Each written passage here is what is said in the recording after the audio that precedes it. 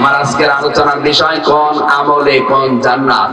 অবশ্যই আমরা জান্নাতে যেতে চাই, কিন্তু কোন আমল করলে আপনি কোন জান্নাতের স্তরে থাকবেন? জান্নাত একটা, জান্নাতের স্তর আটটা। এর আগে আমি বড় লেখায় কোন জায়গায় যারা এসেছিলাম, ওখানে বলেছি জাহান নাম একটা জাহান নামের স্তর বা দরজা সাতটা। লাহা সাবাত লিকুল্লি বাবি মিনহুম জুজউম অবশ্যই জান্নাত এবং জাহান্নামের দরজা সাতটা আর আটটা। যে যে কাজ করবে আল্লাহ তাকে ওই দরজা দিয়ে ওই জায়গায় প্রবেশ করার অনুমতি দেবে। আজকে আমরা এখান থেকে জেনে যাব, জান্নাতের দরজা আটটা বা স্তর আটটা? কে কোন স্তরে থাকার যোগ্যতা অর্জন করছে? আপনার আমল, আপনার যোগ্যতা, আপনার কাজ অনুযায়ী আপনি নিচে দেখতে পাবেন আজকে। সুতরাং আজকের আলোচনাটি একটু মন দিয়ে শুনতে হবে। থাকবেন তো ইনশাআল্লাহ? জবান খুলে কোরআনের সোনালী আয়াত সূরা তাওবা 72 নাম্বার আয়াতটা আমরা পড়েছি। এই আয়াতের আলোকে এক দেড় ঘণ্টা আমরা যতটুকু পারি আটটা জান্নাতে কে কোথায় যাচ্ছে আপনি আজকে দেখতে পাবেন যে আপনি কোথায় আছেন। আপনার নিজের কাজের দিকে তাকিয়ে দেখবেন যদি মনে করেন না আমার আরও উপরে ওঠা দরকার তাহলে ওই কাজগুলো বাদ দিয়ে আরও যে কাজের কথা বলব ওই কাজ আরম্ভ করবেন। কথা জবান করে পড়েন আউযু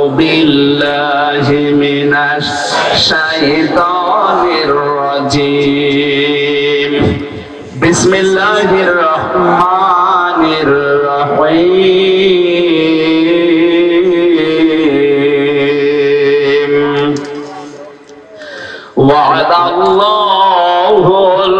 মুমিনিনা والمؤمنات جنات تجري من تحتها الأنهار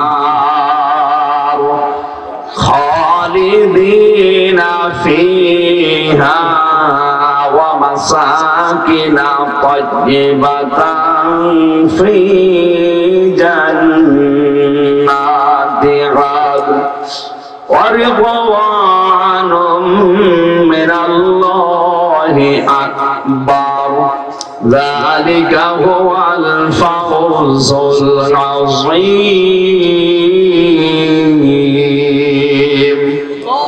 صدق الله العظيم.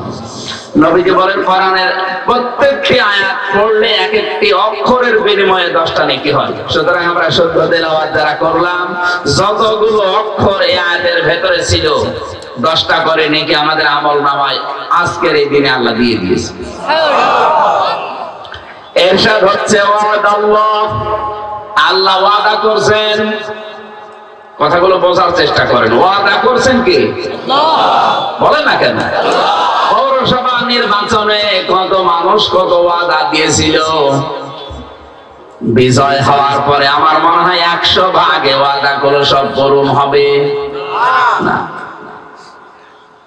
এখানে সরাসরি ওয়াদা দিচ্ছেন আল্লাহ। কাদের সাথে দিয়েছেন? মিনাল মুমিন নারী এবং পুরুষের সাথে। আল্লাহ তাদের প্রথম ওয়াদা দিলেন, তোদের আমি জান্নাত জান্নাত দেব।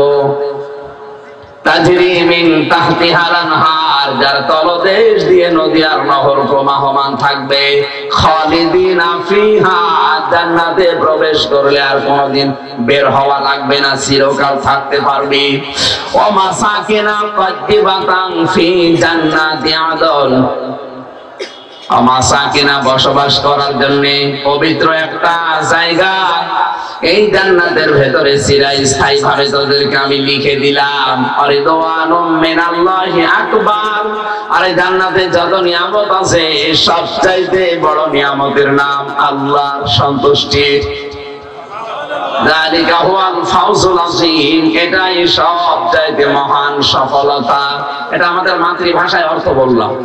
এবার আমরা ব্যাখ্যায় যাচ্ছি। এদিকে আছেন তো? না আমরা এদিকে দেখতে পাচ্ছি না। এমন হতে পারে ছেলে, কি সমস্যা কি? হ্যাঁ? প্রসাব করতে যাই। প্রসাব করতে দল বেঁচে যাস প্রসাব সম্মেলন চলছে। একজন একজন করে যাও শেষ করে আবার পাঠাও এবার ব্যাখ্যার দিকে যায়। থাকবেন তো নাকি? যে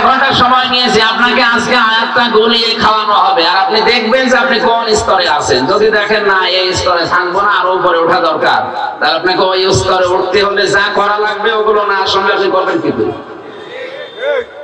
বাংলাদেশে একটা ভুল কথা প্রচার করা আছে যে জানার নাম ইসলাম না, মানার নাম ইসলাম। এটা শয়তানের কথা। জানার নাম ইসলাম না মানে? আপনি যদি না জানেন, তো মানবেন কি? এখানে সঠিক ভাবে জানা সঠিক ভাবে মানা, এর নাম ইসলাম। শুধু জানা আর মানা, এর নাম ইসলাম না।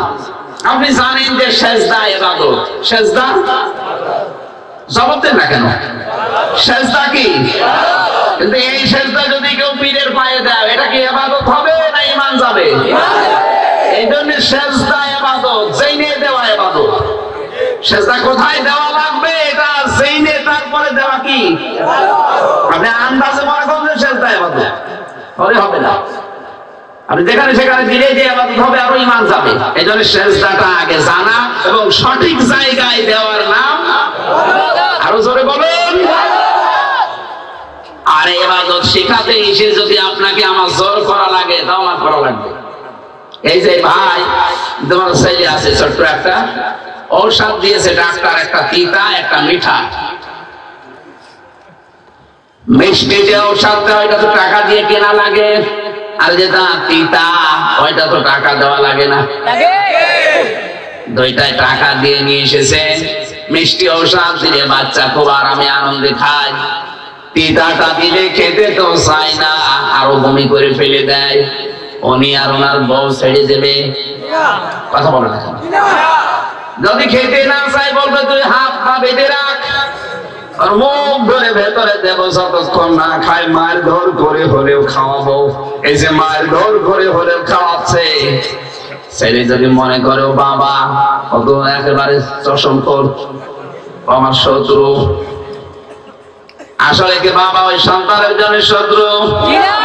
যেটা খাওয়াতে চায় ওটা তো ডাক্তার লিখে দিয়েছে, ওটা না খেলে রোগ ভালো হবে না। উনি যেহেতু বুঝমান মানুষ বুঝেছে আল্লাহর কসম। এইটা কোরআন সামনে নিয়ে বলছে, আমি রাজনৈতিক দলের সাথে অ্যাক্টিভ না, যে কোন রাজনৈতিক দল বলেন। এমনকি আমি ভোটে দাঁড়াবো, এখানে তাও না। আমি কোরআনে কারিমের সঠিক কথাগুলো তুলে ধরতে এসেছি, আপনি অনেকেই হয়তো মনে করছেন না। এইটা খেলে আমার কেমন তিতা লাগে? কারণ ওই রোগ আপনার ভেতরে আছে। এখন আমি যেহেতু কোরআনে কারিমের চোখ লাগিয়েছি খেতে না চাইলে ও বাবার ভূমিকায় আপনাকে আমি জোর করে মায়ের ধর করে হলেও খাওয়াবো। আপনি যদি না খান আপনার রোগ কি আমাদের আগে ভালো হবে? আমি আবার বলছি, যারা বলেন জানার নাম ইসলাম না মানার নাম ইসলাম, এটা তথা কথিত কোনো কিছু কিছু পীর সাহেব, যেগুলোর জ্ঞান নেই, এলেম নেই, বাবা, দাদা, এরকম বংশ পরস্পরায় সিয়ারের পরে সিয়ার কে পীর হয়েছে তাদেরকে বলছি এই কথাগুলো বলা বন্ধ করেন। ইসলামের কোন বিধান যদি আপনি জানেন, কিন্তু মানেন না, তাহলে আপনার একটা গুণা হবে। ইসলামের কোন বিধান আপনি জানেন না মানেন না আপনার ডবল গোনা হবে। কারণ জানাও ফরজ মানাও ফরজ। জানার ফরজ আপনার আদায় হয়ে গেছে কিন্তু মানার ফরজ আদায় হয়নি। এই জন্য গোনা হবে কয়টা? আরও জোরে। কিন্তু আপনি জানেন না মানেন না। আপনি জানেন না কেন? এটা আপনার অপরাধ। এই যে জানেন না মানেন না আপনার গণনা হবে ডবল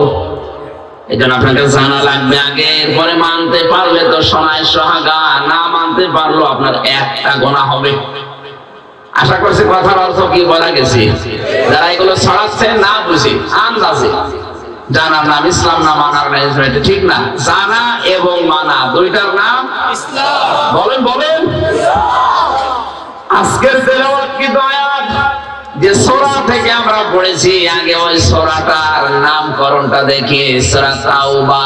কোন সোরা? বলে? তাওবা মানে?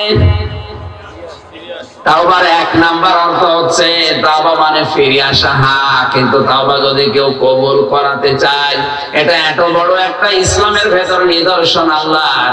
কোন মানুষ যদি জীবনে তাওবা করতে পারে ওর জীবনের অপরাধগুলো আল্লাহ নেকি বানিয়ে দেয়। এই সুযোগটা কাজে লাগবে আপনার ওই সময় পর্যন্ত, যতক্ষণ পর্যন্ত আজরাইল আপনার কাছে না আসে, আপনার মরণের গাড় গাড়া নিয়ে গলার ভেতরে শুরু না হয়। যতদিন পর্যন্ত আপনার মরণ শুরু না হবে, যন্ত্রণা ততদিন আপনার তাওবা কবুল হতেই থাকবে। অপরাধ করার পর আপনি বসে থাকবেন না, সঙ্গে সঙ্গে তাওবা করে নেবেন।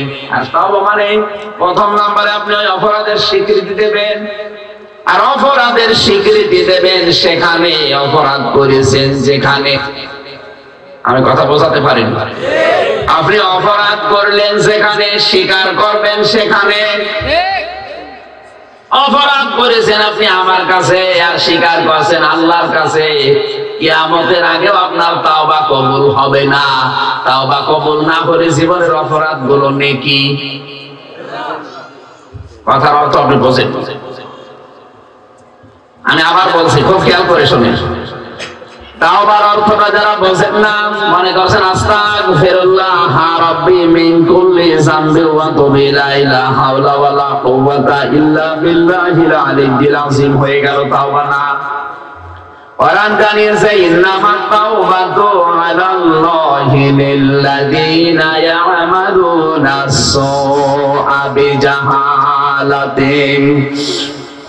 ثم يتوبون من قريب فأولئك يتوب الله عليهم وكان الله عليما حكيما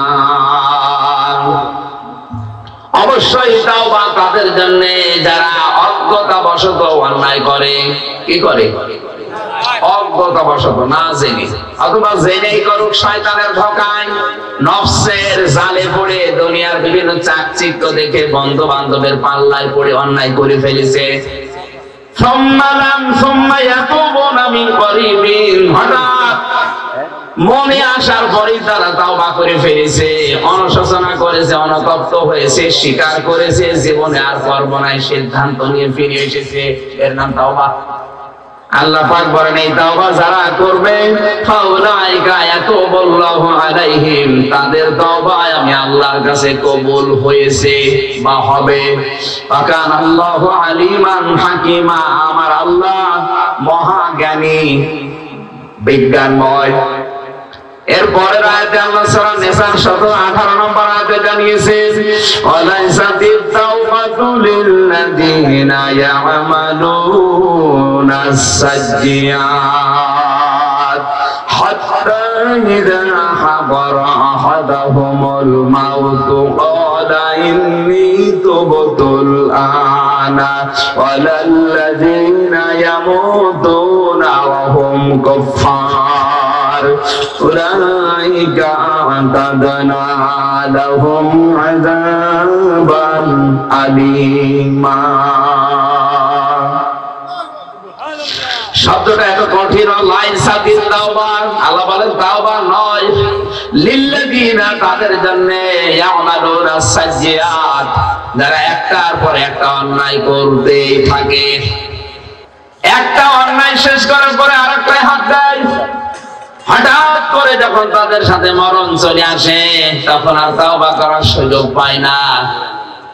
ওই সময় যখন মরণের যন্ত্রণা আরম্ভ হয়ে যায়, ওই সময় যদি বলে, আল্লাহ, আমি ভালো হয়ে গেলাম না, ওদের তাওবার কবুল হবে না। যেমন ফেরাউনেরটা হয়নি। ও যখন ডুবে যাচ্ছিল, একবার পানির নিচে চলে যায়, আবার উপরে ওঠে, আবার নিচে যায়, আবার উপরে ওঠে।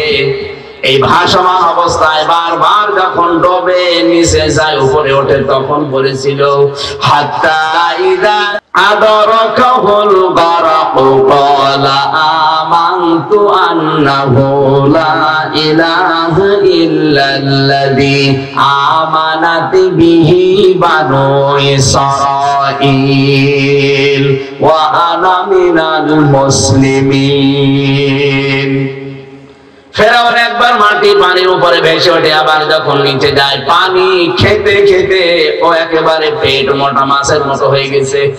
ডাক দিয়ে বলছে, মালিক, আমি ইমান আনলাম।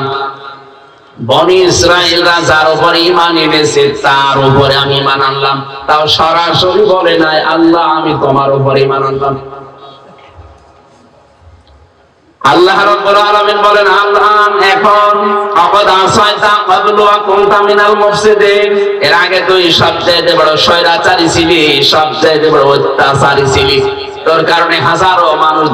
শান্তি এখন, এর আগে যদি তুই ফিরে আসতি, তোর আমি কবুল করতাম। সুতরাং তখন যেহেতু ফিরে আসার সময় ছিল, আসিস নাই। বিপদ এখন একেবারে শেষ মুহূর্তে, এখন তোর তাওবা কবুল হবে না।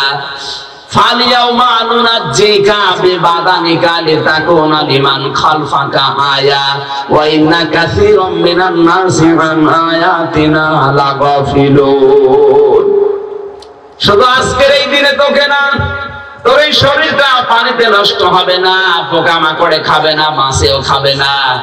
তারা এই ফেরাউনের লাশ এখনও মিশরের জাদুঘরে আছে আপনি দেখে শিক্ষা নিতে পারেন। যদি আপনি শিক্ষা না নেন তাহলে বুঝতে হবে আপনিও ফেরাউনের মতোই। এত বড় অত্যাচারী জুলুম বা স্বৈরাচার যদি আল্লাহর আযাব থেকে নিজেকে রক্ষা করতে না পারে আপনাকে তো কেউ চেনেই না। ওই লোকটা সাড়ে ছয়শো বছর একাধারে রাজত্ব করেছে কোনোদিন মাথা ধরেনি। আর আপনার পাঁচ বছরে দশবার মাথা ধরে।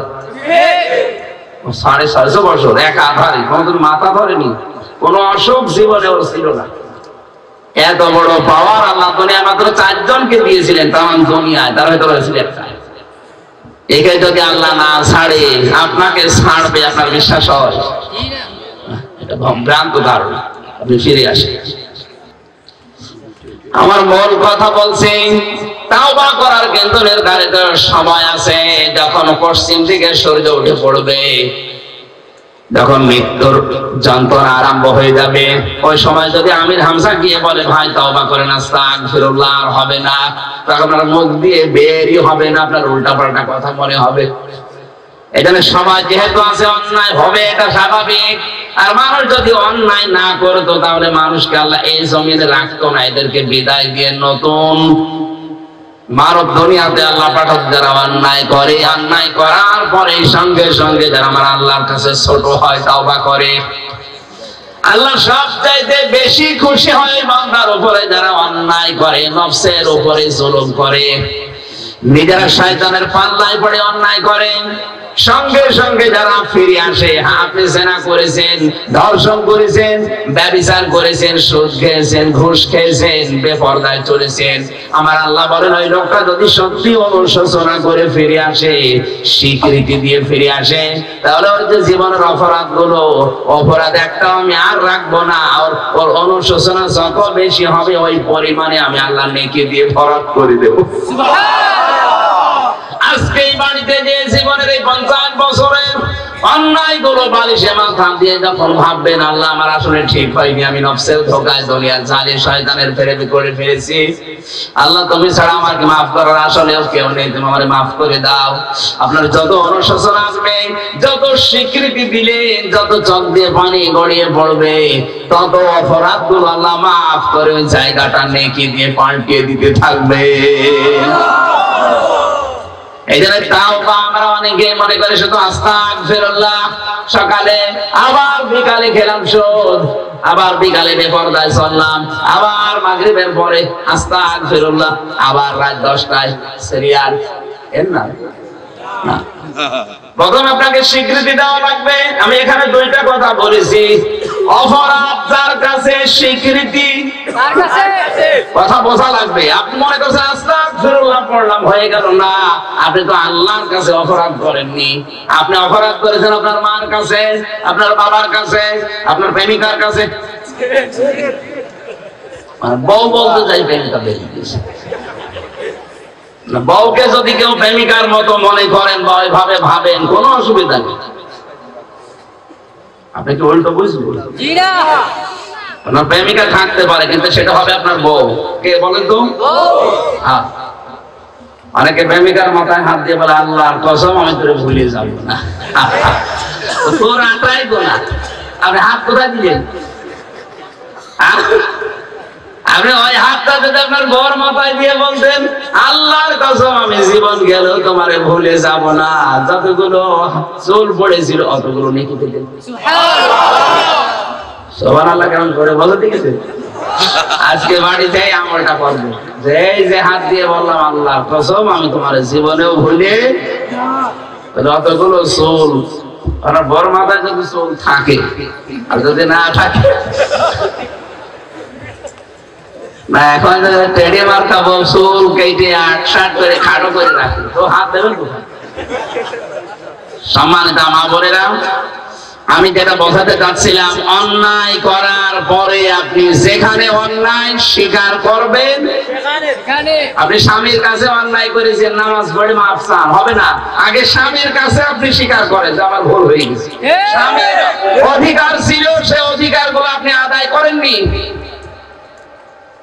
স্বামী চায় যে আপনি সাজগোজ করে থাকেন কিন্তু আপনি ওটা করেননি। এটা তার অধিকার ছিল।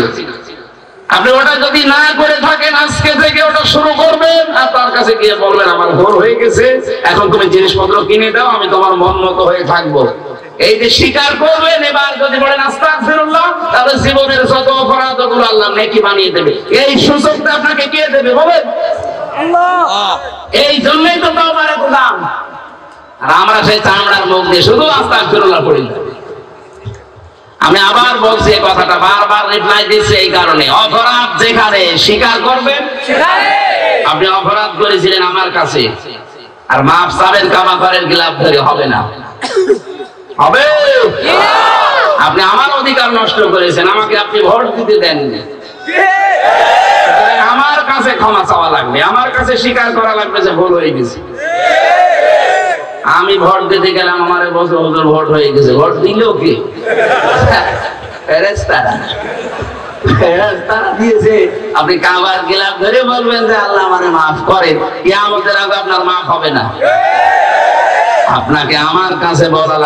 আমি রামসা আমি তোমার অধিকার নষ্ট করেছি, ভুল হয়ে গেছে, আমারে মাফ করো। আমি যদি মন থেকে তাও বলি, ঠিক আছে, মাফ করে দিলাম। আর যদি আমি বলি না, তবে আমি মাফ করব। আল্লাহ মাফ করবে এই হিসাবে বাংলাদেশে মাফ পাবে না কত মানুষ? আপনি আমার কাছে একটা লিস্ট দেন তো। জায়গা মতো হাত পড়ে গেছে। আমাদের কাছে তাও বা মানে আস্তাক অত সহজ। অপরাধ যার কাছে, শিকার হবে।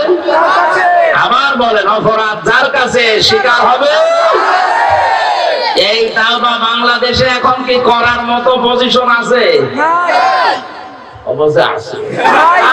করে কেমন কোন জায়গা আছে? বলছে নেই। এখানে এই তাওবা করার জন্য আপনাকে আমি আহ্বান জানালাম। আমি কোরআন দিয়ে বললাম।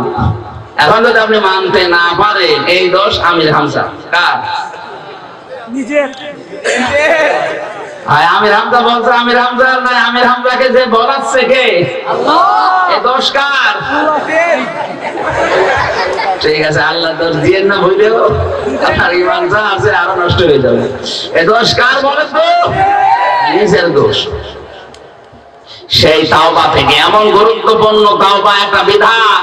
এই বাংলাদেশে অনেকগুলো শব্দের অর্থ আমরা পাল্টিয়ে ফেলেছি তার ভেতরে তাওবা জিকির এরপরে এবাদাত এরপরে আকিমিস সালাত। এই শব্দগুলোর আসল অর্থ এই দেশে নেই। সব আমরা পাল্টিয়ে মন মতো মানিস অথচ আকিমিস সালাত মানে কি? তাওবা মানে কি? জিকির মানে কি? এবাদাত মানে কি?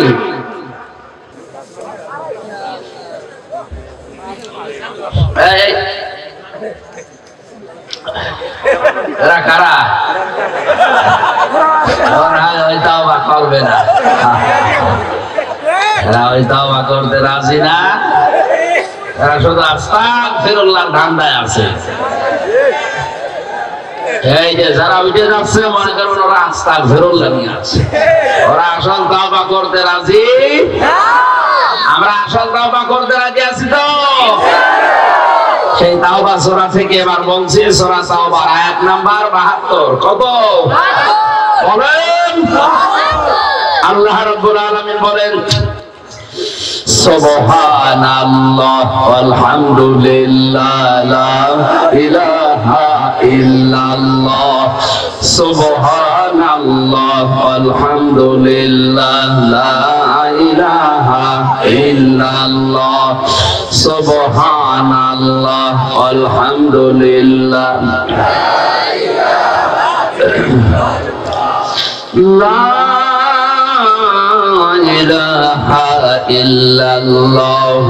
মুহাম্মাদুর রাসূলুল্লাহ